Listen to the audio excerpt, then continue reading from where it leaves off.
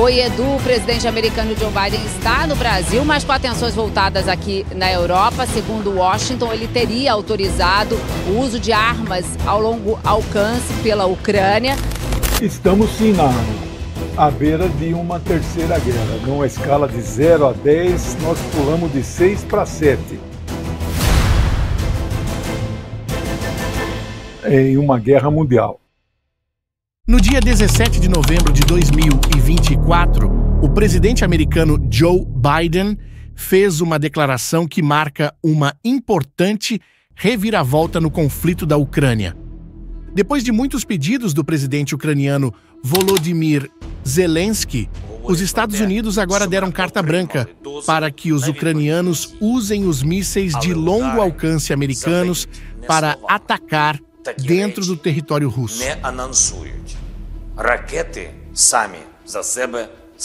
Essa decisão foi recebida com surpresa e até certa tensão, tanto entre aliados quanto adversários, já que, anteriormente, os Estados Unidos haviam colocado restrições rigorosas sobre o uso dessas armas fora das fronteiras ucranianas. Mas afinal, o que levou os Estados Unidos a tomarem essa decisão agora? E principalmente, será que essa escalada pode nos levar a uma terceira guerra mundial?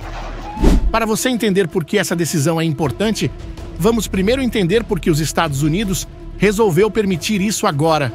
Afinal, o que mudou? Bem, existem algumas razões que ajudam a explicar essa mudança de política. O contexto da guerra entre Rússia e Ucrânia vem se intensificando nos últimos meses com a Rússia aumentando suas ofensivas e até recebendo o apoio de tropas norte-coreanas.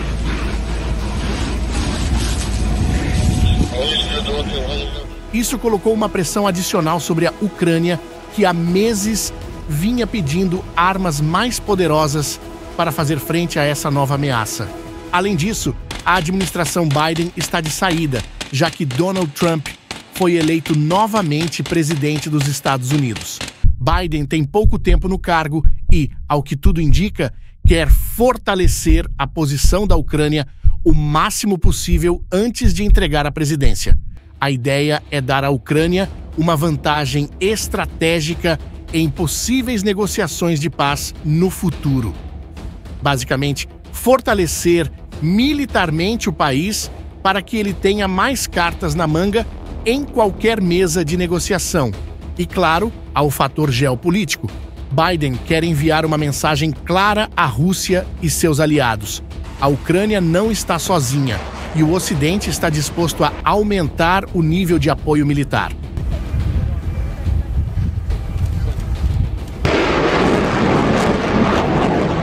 Agora vamos falar um pouco sobre os mísseis ATAC-MS. O que são esses mísseis e por que eles são tão importantes para a Ucrânia? Os ATAC-MS, ou Army Tactical Missile Systems, são mísseis balísticos de superfície para superfície, desenvolvidos pela Lockheed Martin. Eles têm um alcance de até 300 quilômetros, o que significa que podem atingir alvos bem distantes até dentro do território russo. Esses mísseis seguem uma trajetória balística, indo até a alta atmosfera antes de descerem em velocidade altíssima sobre o alvo, o que torna difícil interceptá-los. Existem dois tipos principais de ogivas que esses mísseis podem carregar. Um deles é um tipo de munição cluster, que espalha centenas de pequenas bombas sobre uma área ampla, muito eficaz contra tropas, veículos blindados leves e até aeronaves no solo. O outro é uma ogiva explosiva de alto poder destrutivo.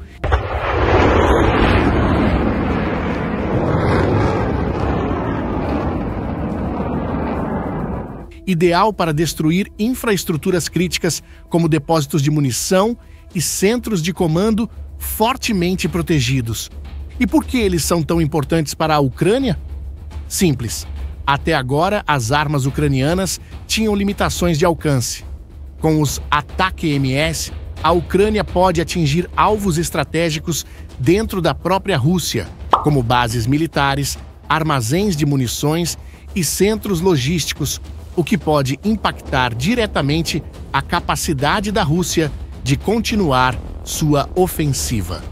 Um bom exemplo é a Ponte da Crimeia, conhecida como Ponte de Kerch, que liga a Rússia à Península da Crimeia, anexada em 2014. Essa ponte é um elo vital para o transporte de tropas e suprimentos russos e atacá-la poderia interromper essas operações logísticas. Além disso, bases aéreas próximas da fronteira, como aquelas nas regiões de Kursk e Belgorod, também são alvos em potencial, especialmente se estiverem sendo usadas para lançar ataques aéreos contra a Ucrânia.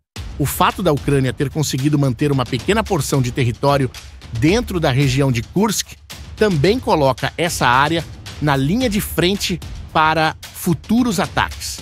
Sabendo disso, você provavelmente pode estar se perguntando: mas será que o uso desses mísseis realmente pode alterar o curso da guerra? Bom, a resposta não é tão simples. Por um lado, eles oferecem à Ucrânia uma nova ferramenta poderosa para atacar alvos que, até então, estavam fora de seu alcance. Um exemplo claro disso foi o primeiro ataque documentado com o uso dos ATAC-MS dentro da Rússia. No dia 19 desse mês, dois dias após a autorização de Biden, a Ucrânia usou esses mísseis para atacar um depósito de munição na região de Bryansk, no oeste da Rússia.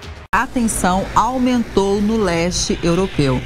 Presta atenção nessa notícia. A mídia estatal da Rússia afirma que o país foi atacado por mísseis de longo alcance. O ataque foi devastador, causando uma grande explosão e destruindo um arsenal russo importante, conforme relatado por fontes ucranianas e confirmadas por vídeos locais. Esse tipo de ataque pode forçar a Rússia a mover suas bases e estoques de armas para locais ainda mais distantes da fronteira, o que pode complicar suas operações e alongar as linhas de abastecimento, tornando mais difícil manter o ritmo da guerra. Além disso, pode afetar a moral das tropas russas, que agora veem que nem mesmo dentro do território russo estão completamente a salvo. No entanto, especialistas militares apontam que, embora esses mísseis sejam uma adição valiosa, eles não são suficientes para mudar o curso da guerra sozinhos. A Rússia já deslocou parte de suas forças aéreas e ativos militares para locais mais distantes, prevendo a ampliação do alcance das armas ucranianas. Além disso, o número de ataque MES disponíveis para a Ucrânia é limitado, o que significa que eles terão que ser usados com muita cautela e em alvos de alto valor estratégico. Mesmo assim, como é de se imaginar, o Kremlin não ficou nada satisfeito com a decisão dos Estados Unidos de permitir o uso de mísseis ATAC-MS dentro do território russo. Logo após a aprovação, o porta-voz do governo russo, Dmitry Peskov, afirmou que essa medida representava uma escalada séria no conflito e acusou os norte-americanos de jogar óleo no fogo. Mas as respostas não pararam por aí. Em um movimento que muitos veem como mais um sinal de alerta ao Ocidente, no mesmo dia do ataque, o presidente Vladimir Putin atualizou a doutrina nuclear da Rússia. Essa atualização, anunciada em 19 de novembro, de 2024 tem como foco abaixar o limiar para o uso de armas nucleares. Agora, qualquer agressão contra a Rússia por parte de um Estado não nuclear, mas apoiada por uma potência nuclear, como os Estados Unidos, será considerada um ataque conjunto e poderá justificar uma resposta nuclear.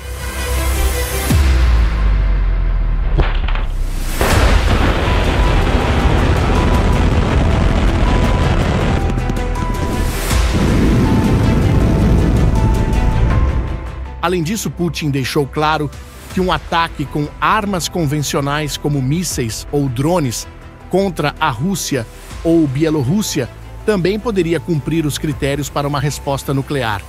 Essa mudança amplia significativamente as circunstâncias em que a Rússia poderia considerar o uso de seu arsenal nuclear, o que gera uma grande preocupação entre os países ocidentais. A mensagem que Putin quer passar é clara. O Ocidente deve pensar duas vezes antes de fornecer armas de longo alcance à Ucrânia. O Kremlin, através de Peskov, destacou que a Rússia agora se reserva o direito de usar armas nucleares em resposta a ataques com armas convencionais, algo que até então não estava tão claro. Mesmo assim, o Ocidente parece determinado a continuar ajudando a Ucrânia. Do lado dos aliados da Ucrânia, a reação foi mista, mas geralmente de apoio. A França e o Reino Unido, por exemplo, viram a decisão dos Estados Unidos como positiva e começaram a preparar novos pacotes de armas, incluindo mísseis de longo alcance, como o Storm Shadow, um míssil de cruzeiro franco-britânico com capacidade semelhante aos ATAC-MS. O presidente francês Emmanuel Macron declarou que a decisão americana foi boa e que a Rússia é a única culpada pela escalada. No entanto, nem todos os países da OTAN estão dispostos a seguir o mesmo caminho.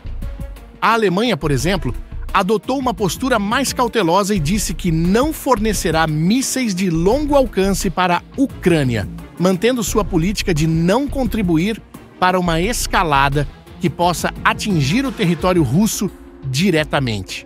Eu imagino que muitos de vocês, ao ouvirem tudo isso, podem estar preocupados e se perguntando: será que estamos prestes a ver um conflito de maiores proporções? Ou então será que isso pode nos levar à tão temida Terceira Guerra Mundial? Se você se pergunta isso, assim como eu, saiba que essa é uma preocupação real no mundo todo. A Rússia já declarou diversas vezes que vê o uso de armas ocidentais em seu território como uma participação direta da OTAN no conflito.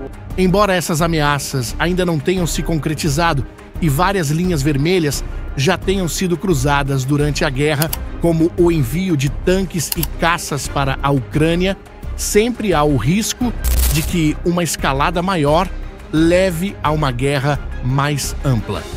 Mas em se tratando de uma terceira guerra mundial, especialistas parecem não chegar a um acordo nesse sentido. Enquanto alguns acreditam que a Rússia está apenas blefando para tentar intimidar o Ocidente, outros alertam que não podemos subestimar os riscos. O fato de a Rússia atualizar sua doutrina nuclear para incluir ataques convencionais de estados não nucleares apoiados por potências nucleares aumenta ainda mais a tensão. No entanto, até agora o que temos visto são respostas mais convencionais por parte da Rússia, como o aumento de ataques aéreos e de mísseis contra a Ucrânia. O fato é que a decisão dos Estados Unidos de permitir o uso dos ataques EMS pela Ucrânia é por si só um grande passo na guerra, mas não é necessariamente um ponto de virada. Esses mísseis dão à Ucrânia uma vantagem estratégica, mas também aumentam os riscos de uma escalada maior com a Rússia. O que o futuro reserva? Bem, isso ainda é incerto, especialmente com a volta de Donald Trump à presidência dos Estados Unidos. Será que ele vai continuar dando todo o apoio necessário para a Ucrânia? Só o tempo dirá. E você, o que acha dessa decisão? Acha que os Estados Unidos fizeram o certo ao liberar esses mísseis? Deixe sua opinião nos comentários. E se você gosta desse assunto, aproveite para entrar no nosso grupo de WhatsApp. Lá publicamos as últimas notícias sobre tudo o que acontece no mundo militar. O link está na descrição. E não se esqueça de curtir o vídeo e se inscrever no canal para mais análises como essa. Até a próxima!